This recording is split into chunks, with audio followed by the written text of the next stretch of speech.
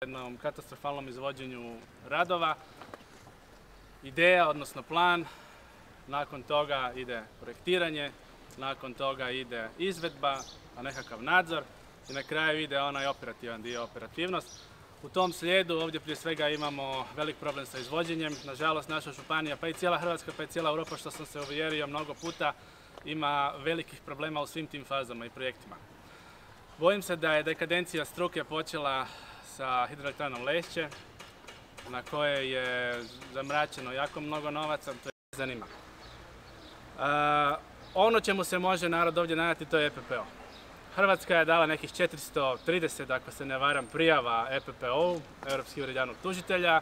Mogu reći jedno 10% je moj ured, naš, ured, naš rad e, poslao. Kogod bi nam se obratio, što god smo sami istražili ovih pet godina, odnosno od kad postoji EPPO, odnosno jedno tri godine, mi smo to poslali.